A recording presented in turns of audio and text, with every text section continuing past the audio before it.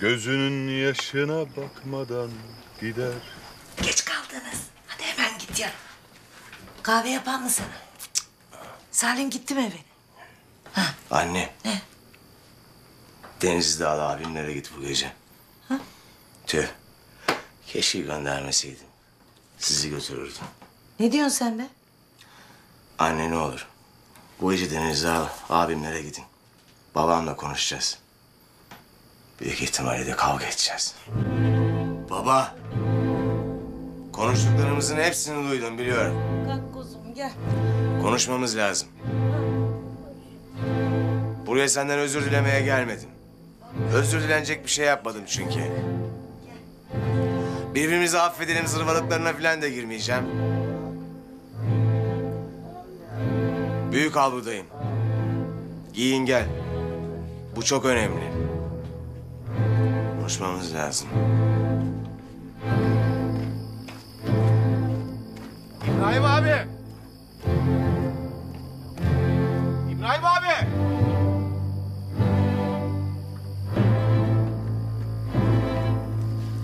Sadık. Kötü bir şey mi var? Yok, anneme yardım etsene. Traktörün yanında. Sen traktörün oraya git.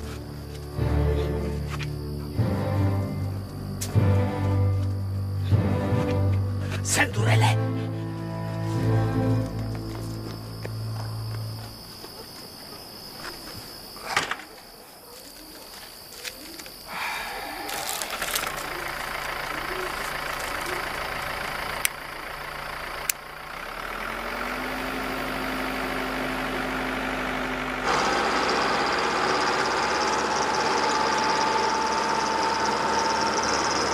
İbrahim amca nereye gidiyoruz? Salim amcanlara Deniz. Bu gece orada kalacaksın sen.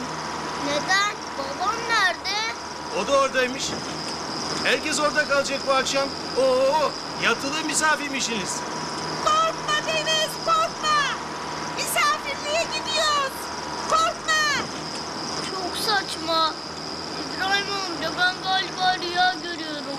He ya, rüya görüyor.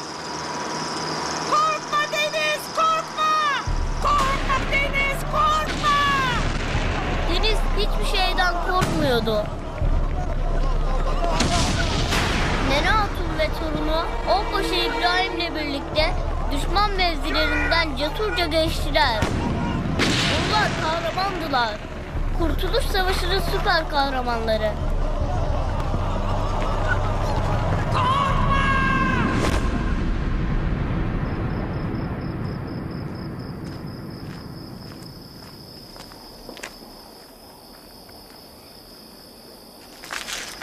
İyi akşamlar baba. Ne akşamı?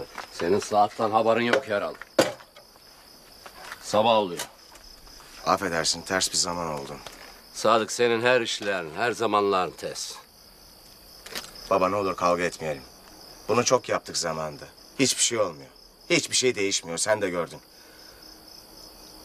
Konuşmamız gereken şeyler var. Sigara. İçmem ondan. Öksürdüyor deniştirince.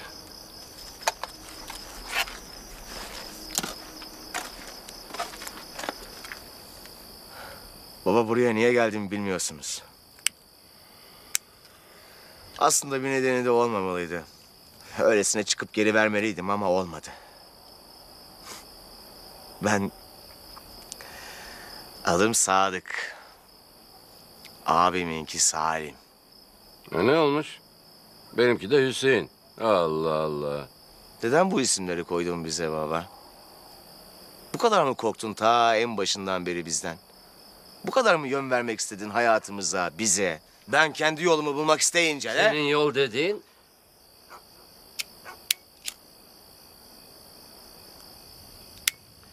Biz seni ziraat okuyasın diye gönderdik İstanbul'a. Ana aşk olasın diye değil.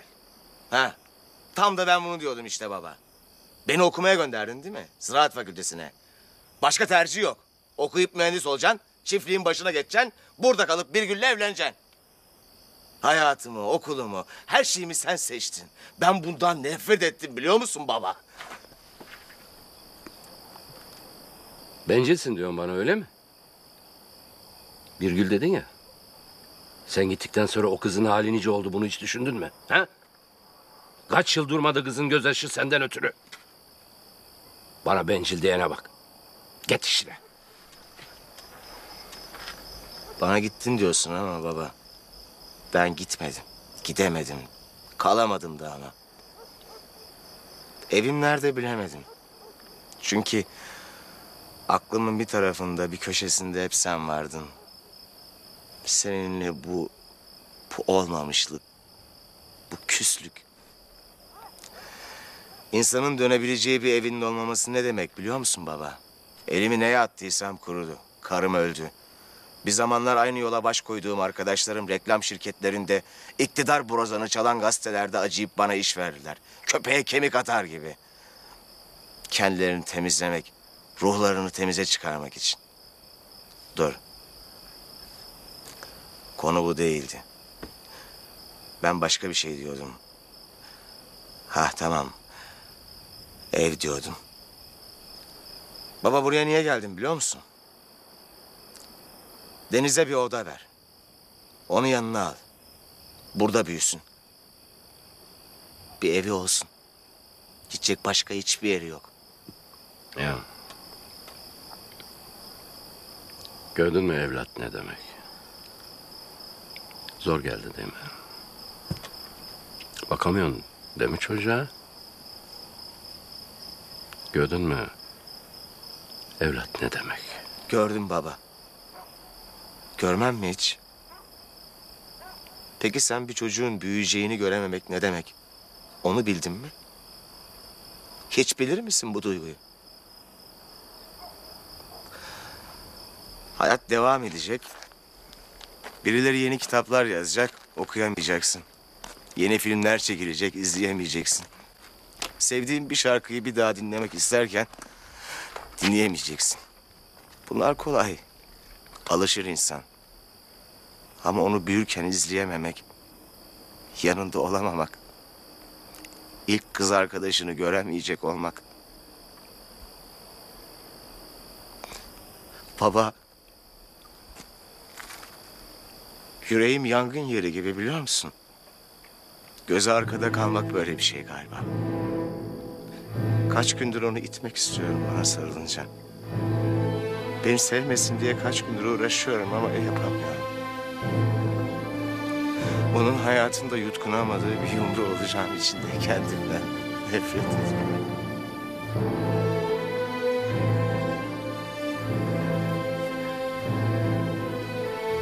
Ona bir oda ver baba. Bir ev olsun. Ama zaman zaman da çıkıp gidebileceği bir ev. Ona söylemek istediğim o kadar çok şey var ki. Sen söyle ona baba. Ona de ki... Sadık.